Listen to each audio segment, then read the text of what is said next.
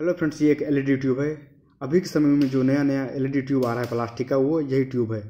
और Crompton company का है और इसके ऊपर लिखा गया है two twenty volt AC supply fifty hertz यानी कि घर में जो सप्लाई आता है टू ट्वेंटी वोल्ट फिफ्टी हर्ज वाला, उसी पर ये वर्क करता है। इस साइड जब हम इसे निकालते हैं, इसमें दो पिन है और इसके दूसरे साइड भी जो इसका कवर निकालते हैं, इसमें दो पिन है। यदि इस पर लिखा गया है कि two twenty volt AC supply पर ये वर्क करता है तो टोटल चार पिन इसमें किस तरीके से दिया गया है, वो मुझे समझ में नहीं आया।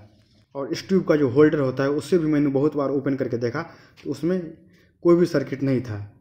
तो इसके अंदर जो एलईडी बल्ब लगा हुआ है, वो शायद इस तरीक़ा से सीरीज़ करके लगा लगा हुआ होगा कि उस पर वो डायरेक्ट टू ट्वेंटी वोल्ट पे ये वर्क करता होगा, या फिर इसके अंदर कोई और सर्किट होगा। तो चलिए इसे हम ओपन करके देखते हैं। यहाँ पे आप देख सकते हो, इसे जब हम मैंने तोड़ा, इसे यहाँ पर टोटल एक वायर लगा हुआ है, और यहाँ पर जो दो पिन था, उसे अंदर में सिंगल करके जोड़ा गया है।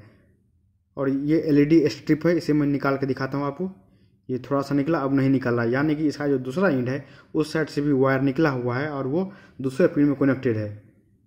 तो चलिए मैं इस साइड से भी इसे ओपन करके मैं आपको दिखाता हूँ, इसके अंदर और क्या क्या चीज़ है। या LED bulb total LED bulb है, या फिर इसके अंदर कोई सर्किट भी है। इसका जो इंड पॉइंट कवर है, वो फिक्स किया हुआ है, किसी चीज़ से चिपकाया हुआ है, इसीलिए ये नहीं उखड़ रहा था। इसलिए मैं इसे काट के आपको दिखा रहा हूँ।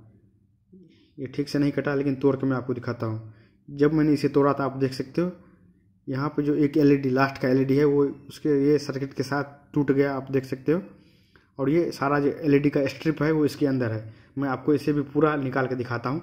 यहाँ पर कितना सारा एलईडी लगा हुआ है थोड़े थोड़े दूर पे।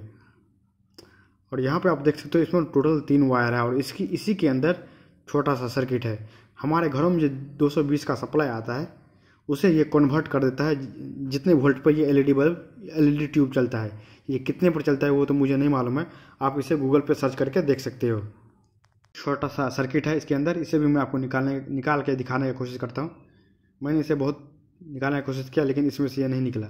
और ये जो एलईडी बल्ब है, एलईडी, ये एक एक पतला सा मेटल पे लगा हुआ रहता है और इसके अंदर भी ये ये आप देख सकते हो, ये इस पर फिक्स रहता है। ये इसमें इसीलिए लगा रहता है कि जब ये जब ये जलता है एलईडी बल्ब तो हीट होता है। इसके हीट को कम करने के लिए ये पतला सा इसके पीछे लगा हुआ आता है। और इसे हीट सिंक कहा जाता है, जिससे इसका जो हीट है वो कम हो जाता है।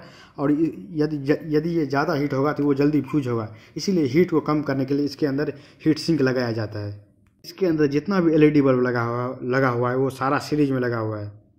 और सर्किट के अंदर एक ट्रांसफार्मर है जैसा कि मुझे ऊपर से दिख रहा है और एक थायरिस्टर टाइप का कुछ छोटा सा और दो तीन रजिस्टर टाइप का लगा हुआ है। ये सही से मैं आपको नहीं दिखा पाऊँगा। यदि ये कभी ओपन हो जाएगा तो मैं आपको दिखा दूँगा। फ्रेंड्स यदि आपको वीडियो कुछ सीखने को मिलता है तो वीडियो को लाइक करके चैनल को सब्सक्राइब कर लेना। धन्यवाद।